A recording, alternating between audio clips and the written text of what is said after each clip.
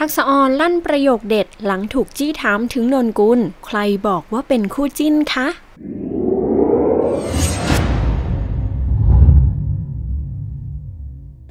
แอปทักษออนตอบหมดไม่มีกักหลังถูกพิธีกรข่าวบันเทิงชื่อดังยิงคำถามถึงคู่จิ้น นนกุล แฟนคลับฟังคำตอบแล้วกรี๊ดแตกลุ้นให้เป็นคู่จริงมากกว่าคู่จิ้น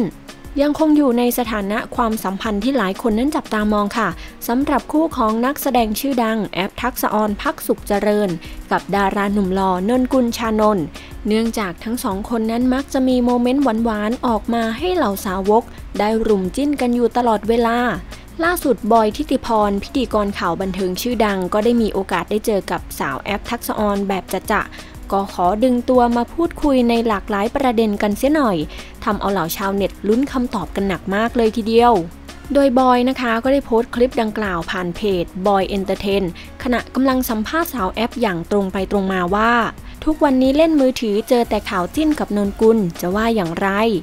งานนี้นักแสดงสาวสวยก็ขอสวนกลับแบบทันควันว่า ใครบอกว่าเป็นคู่จิ้นคะทำเอาคนถามต้องรีบแก้ต่างว่า ตัวเองนี่แหละที่จิ้น เป็นอีกหนึ่งด้อมที่ติดตามมาโดยตลอด จากนั้นพิธีกรบันเทิงชื่อดังก็ได้กล่าวต่อว่า อยากให้เป็นแบบนี้โมเมนต์จิ้นกับนนกุลไปนานๆ ซึ่งสาวแอปก็ได้หยอดคำตอบออกมาเบาๆว่า ไปบอกเขาให้หน่อยสิทำเอาเจ้าของคำถามถึงกับกรี๊ดแตกทันที โดยคุณแม่ลูกหนึ่งยังได้เปิดใจถึงเรื่องที่ถูกจับจิ้นกับหนุ่มนนกุลด้วยว่า มีทั้งคนที่กล้าแซวและไม่กล้าแซว และพี่บอยนี่แหละที่กล้า อย่างไรก็ตามแม้ว่าบอยจะชวนแอฟคุยฟุ้งเรื่องอื่นอยู่นาน แต่ท้ายที่สุดก็วกกลับมาแซวประเด็นคู่จิ้นกับนนกุลเหมือนเดิม โดยบอกว่าเห็นฝ่ายชายไม่ไปญี่ปุ่น เพราะว่าต้องมาช่วยรับแขกงานศพคุณพ่อแอฟ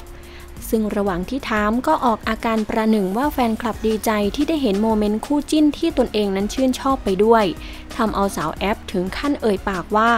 อะไรที่แฮปปี้ก็เสพไป